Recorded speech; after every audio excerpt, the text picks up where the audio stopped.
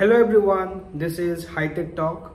So many user like many of us are not seeing or following option in our instagram account.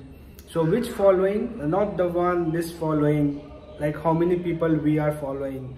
It's like in the home there was option of following so that when we select that following we will see the post in our instagram home. Only of the people we are following. So i mean it will show the post of the people you are following.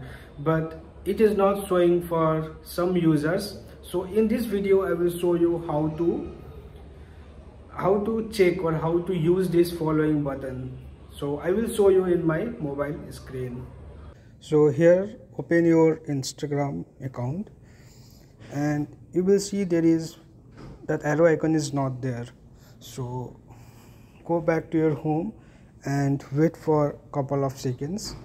Just scroll up and down. Here you can see now that arrow icon is here. And now you can switch to favorite or following whichever you want. So i hope you will find this video useful